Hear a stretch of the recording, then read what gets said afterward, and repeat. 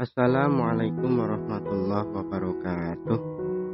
Sahabat-sahabat semua yang dirahmati oleh Allah Subhanahu wa taala. Setiap tanggal 10 Zulhijjah merupakan hari raya umat Islam, yakni hari raya Idul Adha. Pada hari raya ini, umat Islam disunahkan melaksanakan sholat Idul Adha dan berkurban, baik sapi kambing, kerbau, maupun unta bagi yang mampu.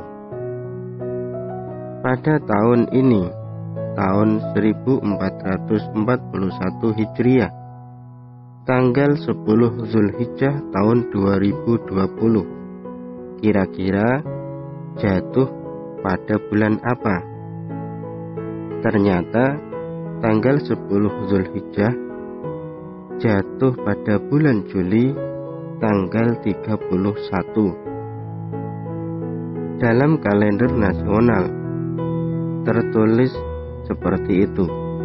Namun kita sebaiknya menunggu kepastian pemerintah agar umat Islam bisa bersatu bersama dalam merayakan hari raya Idul Adha. Sebelum merayakan hari raya Idul Adha yakni sebelum tanggal 31 Juli. Maka umat Islam disunahkan untuk melaksanakan puasa Tarwiyah dan puasa Arafah. Puasa Tarwiyah jatuh pada tanggal 29 Juli dan puasa Arafah jatuh pada tanggal 30 Juli 2020. Kalau di dalam kalender Hijriah atau kalender Islam, puasa Tarwiyah itu tanggal 8 Zulhijjah. Sedangkan puasa Arafah tanggal 9 Zulhijjah. Semoga informasi ini bermanfaat.